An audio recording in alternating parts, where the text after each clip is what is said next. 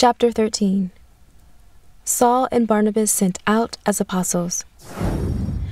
In the church at Antioch, there were a number of prophets and teachers of the word, including Barnabas, Simon from Niger, Lucius the Libyan, Manaen, the childhood companion of King Herod Antipas, and Saul.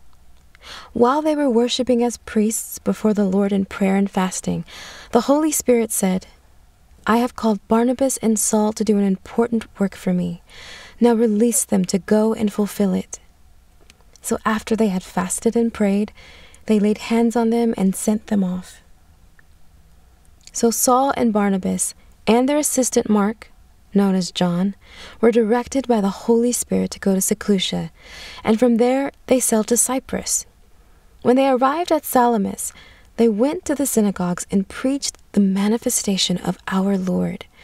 From there they crossed to the island as far as Paphos, where they encountered a Jewish false prophet, a sorcerer named Elymas, who also went by the name of Son of Jesus. He had gained influence as the spiritual advisor to the regional governor, Sergius Paulus, considered by many to be a wise and intelligent leader.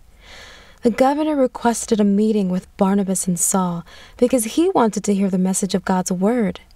But Elymas, whose name means sorcerer, stood up against them and tried to prevent the governor from believing their message. Saul, also known as Paul, stared into his eyes and rebuked him.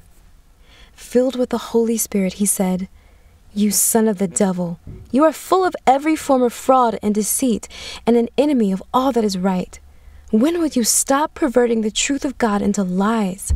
At this very moment, the hand of God's judgment comes down upon you, and you will be blind.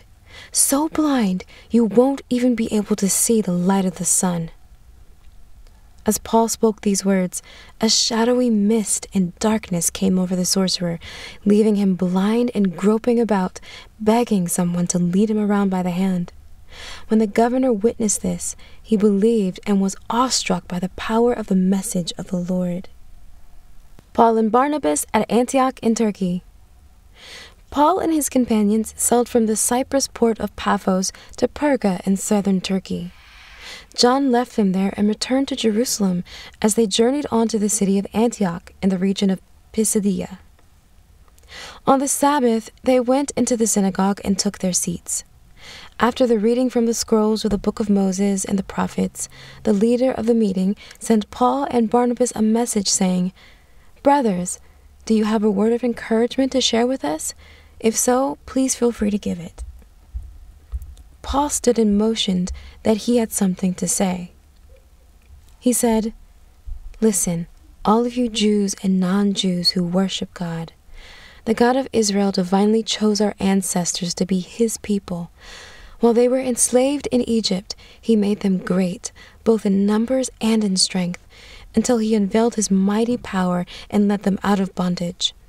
For nearly forty years, he nourished them in the wilderness.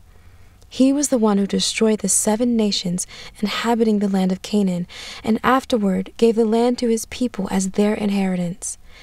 This took about 450 years.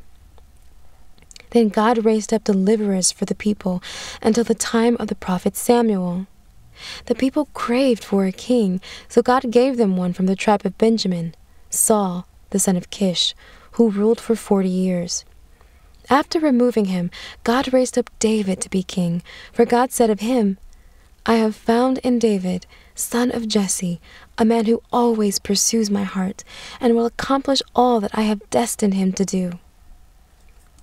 From David's lineage, God brought Israel a Savior, just as he promised. So before Jesus appeared, John preached the message of a baptism of repentance to prepare all of Israel. As John was about to finish his mission, he said repeatedly, If you think that I am the one to come, you're mistaken. He will come after me, and I don't even deserve to stoop down and untie his sandals. Fellow Jews, Abraham's descendants, and all those among you who worship and revere God, this message of life has been sent for us all to hear. But the people of Jerusalem and their leaders didn't realize who he was, nor did they understand the prophecies written of him. Yet they fulfilled those very prophecies which they read week after week in their meetings by condemning him to death. Even though they could come up with no legal grounds for the death sentence, they pleaded with Pilate to have him executed, and they did to him all that was prophesied they would do. Then they took him down from the cross and laid him in a tomb. But God raised him from the dead and for many days afterward he appeared on numerous occasions to his disciples, who knew him well and had followed him from Galilee to Jerusalem. Those disciples are now his witnesses, telling the people the truth about him. So here we are to share with you some wonderful news. The promise God made to our forefathers has now been fulfilled for us, their children. For God has raised Jesus from the dead, as it says in the Psalms.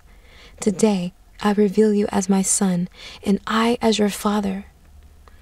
God had promised not to let him decay in the tomb or face destruction again, so God raised him from the dead. He gave this promise in the Psalms I will give to you what I gave to David faithful mercies that you can trust. He explains it further in another psalm You will not allow your Holy One to experience bodily decay. This cannot be a reference to David. For after he passionately served God's desire for his generation, he died. He was buried with his ancestors, and his body experienced decay. But the one whom God raised from the dead has never experienced corruption in any form. So listen, friends. Through this Jesus, the forgiveness of sins is offered to you. Everyone who believes in him is set free from sin and guilt, something the law of Moses had no power to do. So be very careful that what the prophets warned about does not happen to you. Be amazed and in agony, you scoffers. For in your day I will do something so wonderful that when I perform mighty deeds among you, you won't even believe that it was I who did it. As Paul and Barnabas started to leave, the people pleaded with them to share more about these things on the next Sabbath day. When the meeting had finally broken up, Many of those in attendance, both Jews and converts to Judaism, tagged along with Paul and Barnabas, who continued to persuade them to go deeper in their understanding of God's grace. The following week, nearly everyone in the city gathered to hear the words of God. When the Jewish leaders saw the size of the crowds, vicious jealousy filled their hearts, and they rose up to oppose what Paul was teaching. They insulted him and argued with him over everything he said. Yet Paul and Barnabas did not back down. Filled with courage, they boldly replied, We were compelled to bring God's message first to you Jews, but seeing you've rejected this message and refused to embrace eternal life, we will focus instead on the nations and offer it to them. This will fulfill what the Lord has commanded us. I have destined you to become a beacon light for the nations and release salvation to the ends of the earth. When the non Jewish people in the crowd heard these words, they were thrilled and they honored the word of the Lord.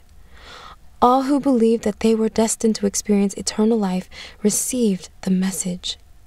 God's word spread like wildfire throughout the entire region. The Jewish leaders stirred up a violent mob against Paul and Barnabas, including many prominent and wealthy people of the city. They persecuted them and ran them out of town. As they left, they shook the dust off their feet as a sign of protest against them, and they went on to the city of Iconium. They left the new converts in Antioch, overflowing with the joy of the Holy Spirit.